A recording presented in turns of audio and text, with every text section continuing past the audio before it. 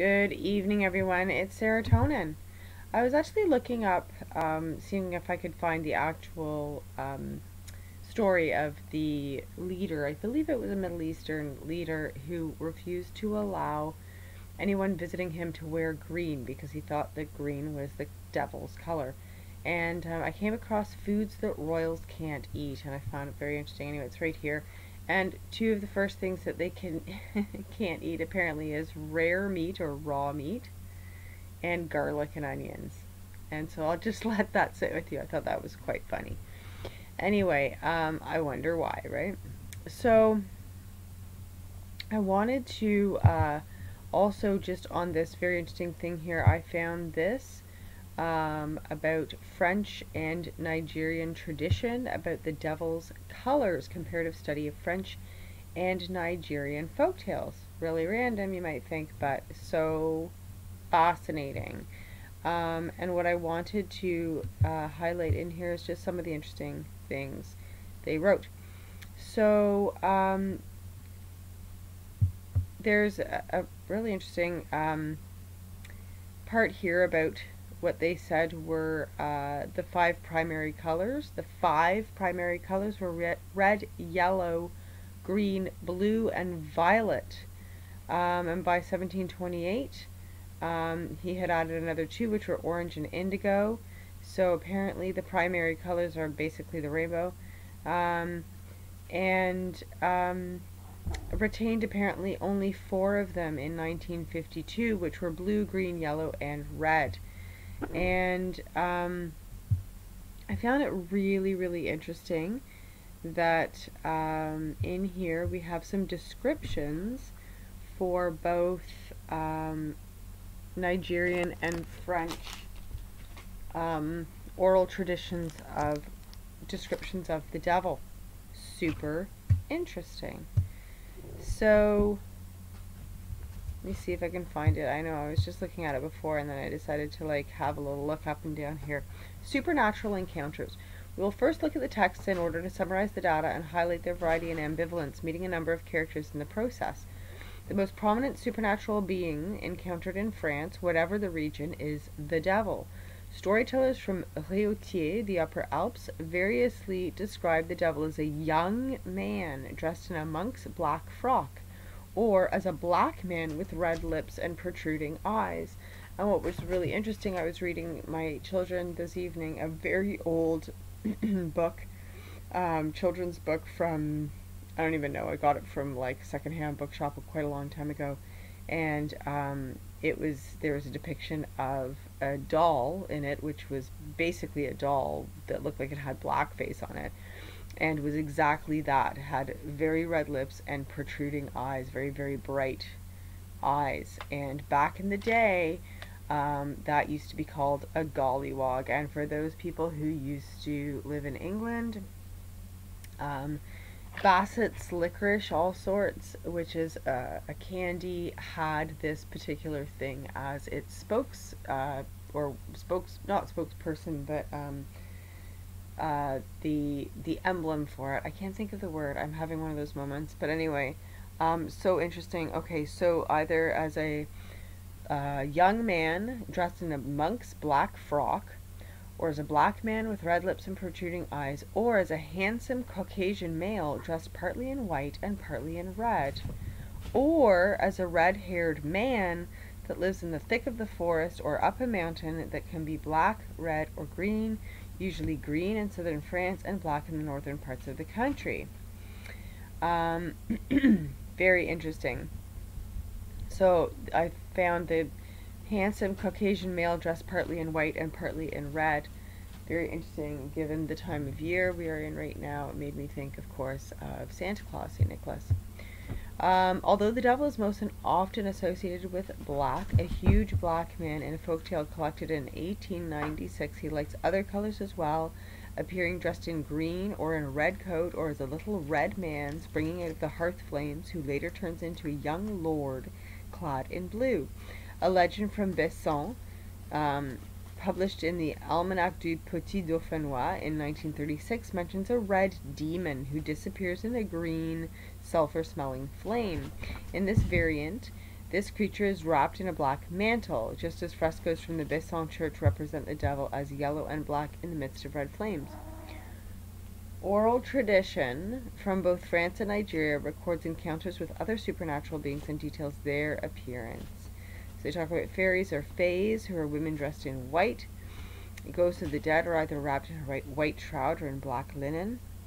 In Brittany, dwarfs carry huge deformed heads over stunted black bodies. The Narovs of the Jura legend, wild, malevolent beings, are stocky and black faced and run barefoot, covered in rags.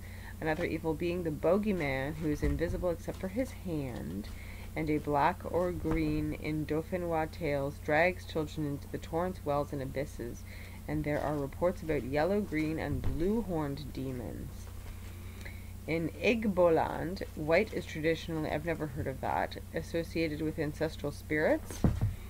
Very interesting. Testified by G.T. Basden's photo of an Igbo initiate ceremonial body painting with one side painted white, the combination representing him being half man, half spirit.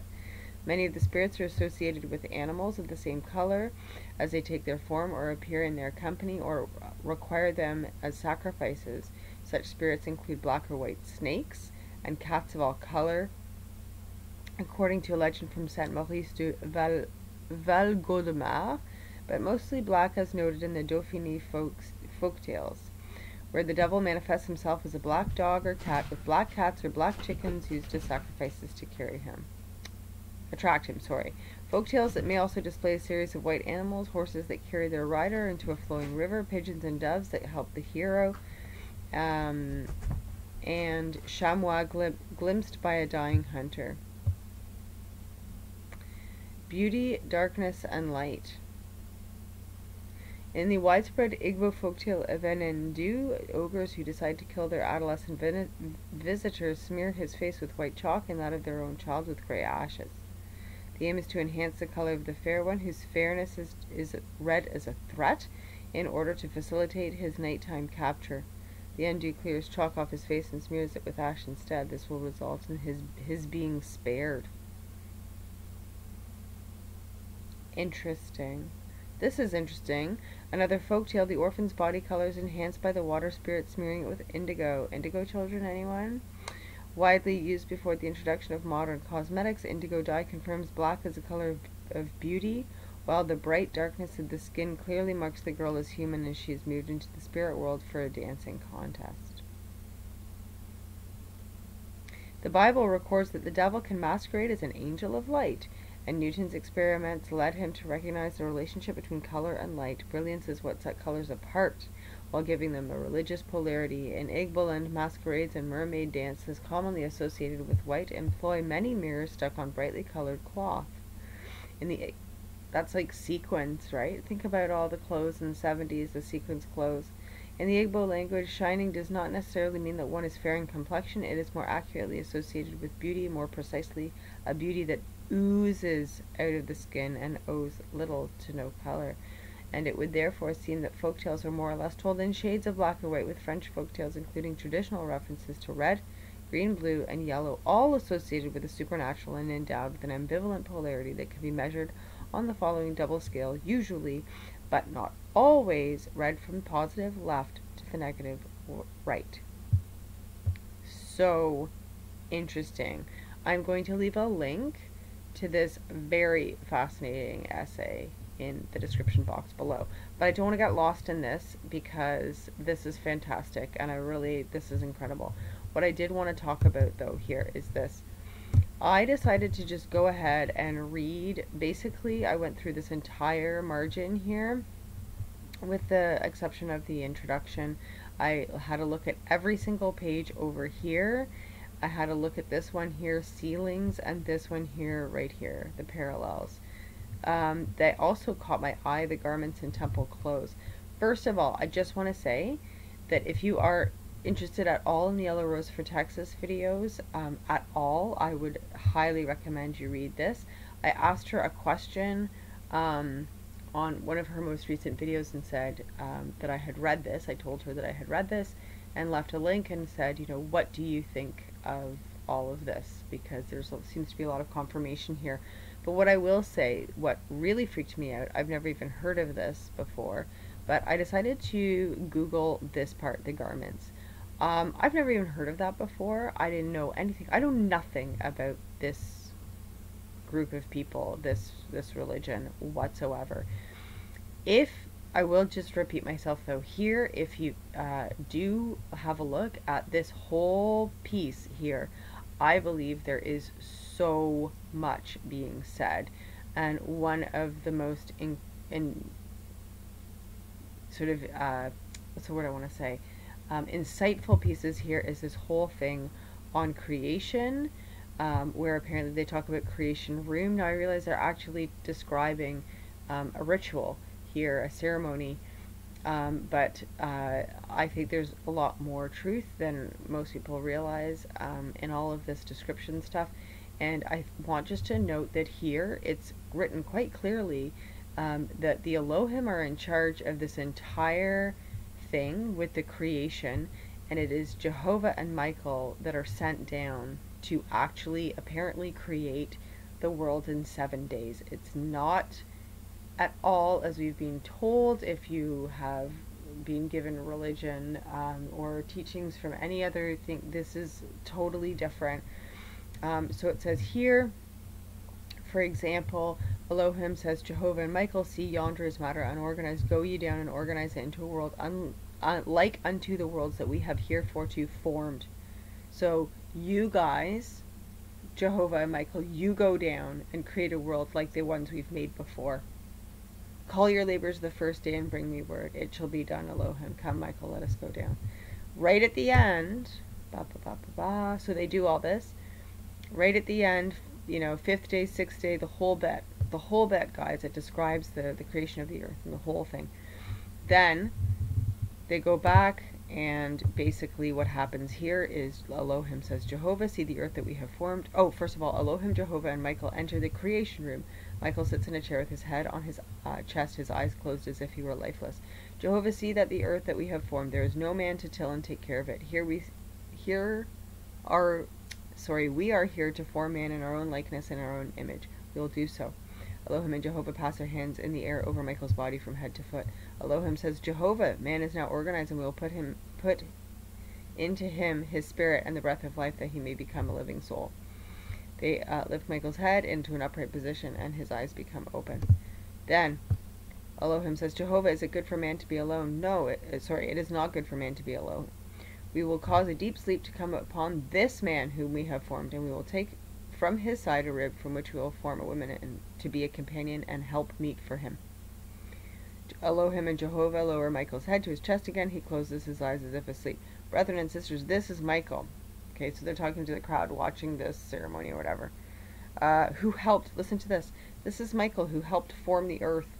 When he awakens from his sleep, which we have caused to come upon him, he will be known as Adam, and having forgotten all, he will become as a little child. Brethren, close your eyes as if you are asleep. And so they do, blah blah blah.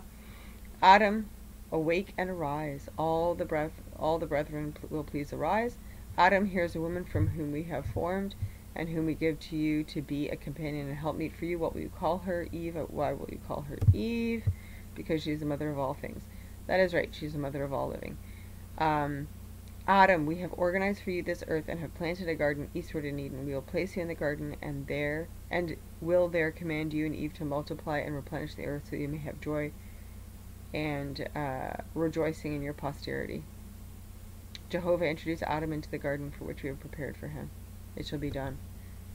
What? So, very interesting. So, apparently, the story is that Jehovah and Michael created the earth um, under the um, command of the Elohim, and then they turn Michael into Adam.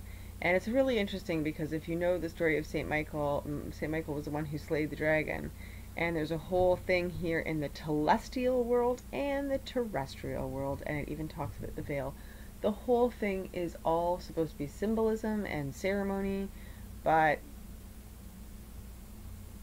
dudes i don't know i'm just there's so much going on in here i even looked up celestial world i'm like what is celestial world and of course there is no meaning outside of LDS, but I found it very interesting that there's also telestial in Hindi.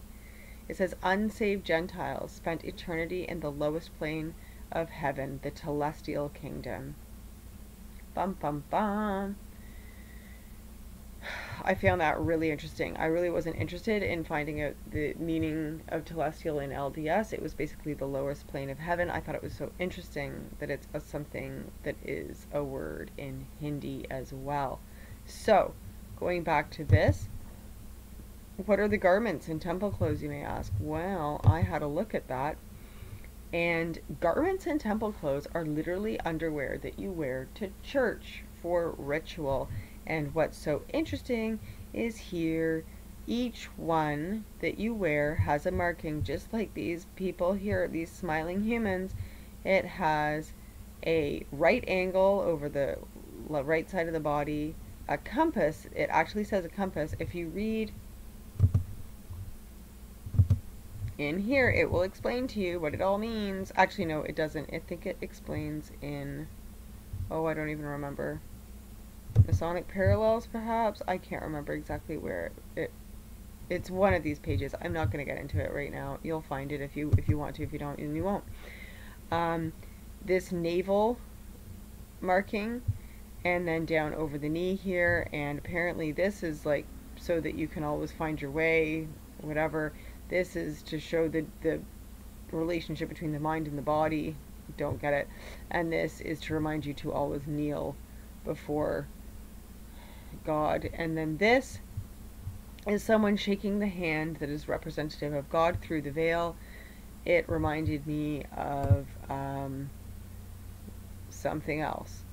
Um, people who, uh, if you live in the city and you, know a little bit about um, the gay culture, um, this is possibly what people refer to as, it reminded me of what people refer to as a glory hole, which is basically where people have um,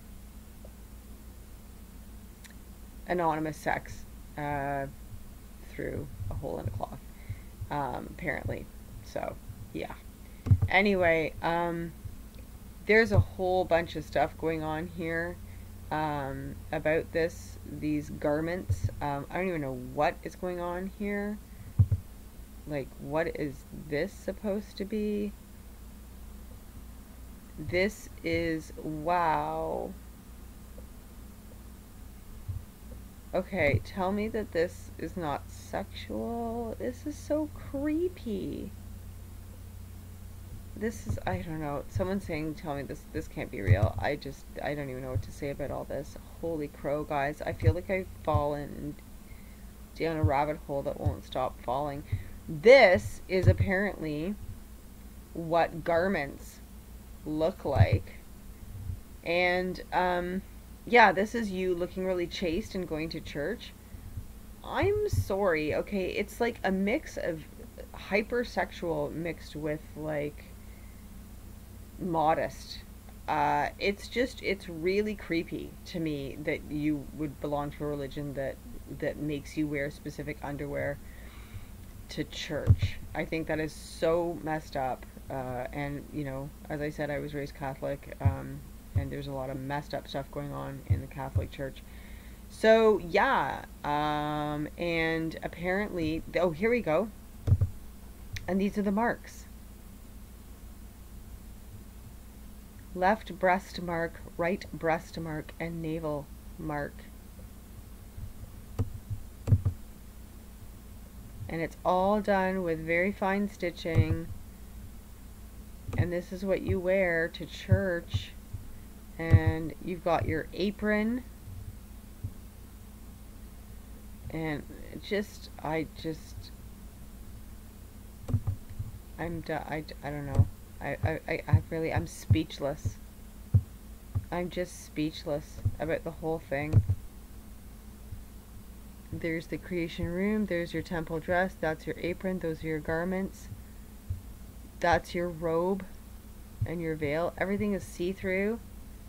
Even the underwear.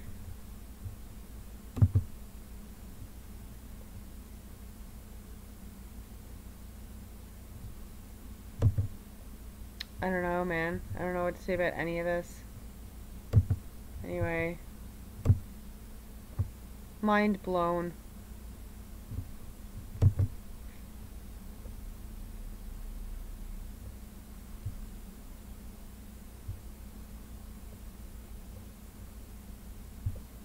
Mind freaking blown. Anyway, okay, I'm done here. Um...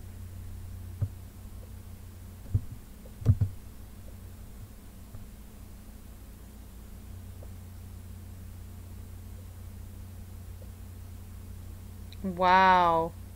Temple garment is a type of underwear worn by a vast majority of Latter day Saints Mormons after they have taken part in an endowment ceremony. Garments are bo- worn both day and night. Wow, and are required for any previously endowed adult to enter a Mormon temple. The LDS Church claims that temple garments, which, when properly worn, provides protection against temptation and evil. In Mormon folklore, tales are told of Latter day Saints who credit their temple garments in helping them survive car wrecks, fires, and natural disaster. And it goes Mormon underwear, magic Mormon underwear, superstition knickers. Wow. Okay. And so interesting. Oh my gosh, I just I can't even look at that. So creepy. Um this is I found very interesting. Okay. So former LDS member. Okay, I see so many wrong answers, covers ups, and sidestepping on this question, so let me give you the truth and the direct answer. The Mormon underwear, or magic underwear as some call it, is an undergarment given to temple worthy members of the LDS religion. They're worn during the secret Masonic ritual that takes place in the Mormon temple, or known as protective garments, and are taught that they can protect the member from harm and evil. However, belief in protective clothing comes from the occult world and is very big in witchcraft, for example. Mormons trust in cloth for protection, while Christians trust in Jesus Christ. On the garments are small markings which are Masonic. The same markings also exist on the garments worn during the Wicca ceremonies and in the same places. Why? Because not only the markings but the ceremony itself comes directly from the world of the occult. Witchcraft, Satanism, and other various occult and pagan religions also use Masonic symbols along with other things borrowed from Masonry. Masonry itself is Luciferian, basically Satanism with a fancy name. You asked about what rituals are related to the garments, so I have provided a transcript of the death penalty oaths sworn by all during the ceremony. This transcript, however, is from long ago and the ceremony has since been toned down a lot and some wording changed and removed. The reason is because at one point there was a sudden push to appear more Christian in order to get, gain converts. Also because many were leaving the religion due to the disturbing nature of the ceremony. Early penalty for the first token of the Aaronic priesthood. We and each of us covenant and promise that we will not reveal any of the secrets not sacred of this, the first token of the Aaronic priesthood with its accompanying name, synod penalty. We agreed that our throats be cut from ear to ear and our tongues be torn out by their roots. Holy crow, people.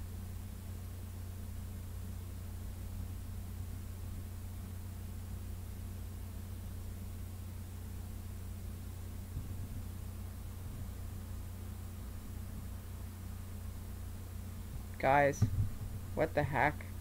Anyway, that's all I have to say about that. Whew. Talk to you soon. For now, a farewell. Have a good night.